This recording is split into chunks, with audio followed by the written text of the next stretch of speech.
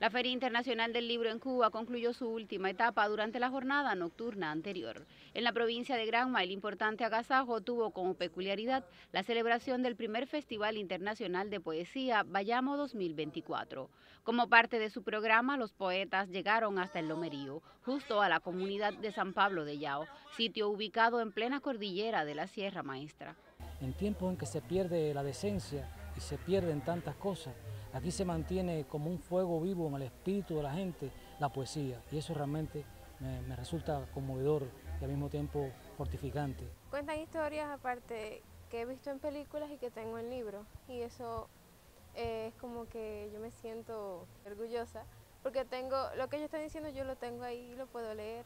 Este ha sido un festival único que ya tiene una identidad muy fuerte. Creo que el Gas Café, creo que Ventana Sur, creo que este espacio de, de San Pablo de Yao creo que cualquier sitio donde, donde la poesía pueda sentarse a dialogar con, el otro, con las maneras distintas de, de pensar, ya es un éxito garantizado. El festival tuvo carácter online y presencial. Contó con la participación de una veintena de escritores provenientes de España, Venezuela, Italia y Cuba, al tiempo que perfiló acciones de futuro.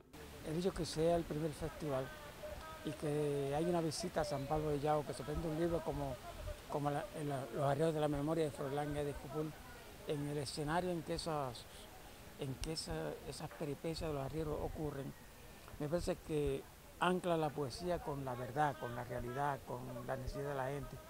Hay necesidad de poesía y el festival de algunos se encarga en traérsela. La gala clausura, dirigida por Silita Boris, destacó valores del arte de las letras. En su contexto se reconoció la impronta del poeta Andrés Conde Vázquez, personalidad a la que se dedicó este jubileo en Granma, al tiempo que el Poder Popular en la ciudad de Bayamo otorgaba la réplica de la ventana de Luz Vázquez a Froilán González, a Discupul y a Alex Pausides por su entrega al desarrollo literario del país. Una vez más, la Feria del Libro fue celebración idónea para estrechar alianzas. Los programas científicos y artísticos contribuyeron sin dudas a que el evento alcanzara mayor calidad.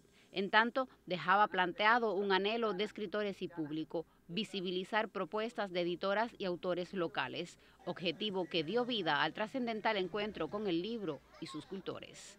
Jacqueline Pérez, Sistema Informativo de la Televisión Graumense.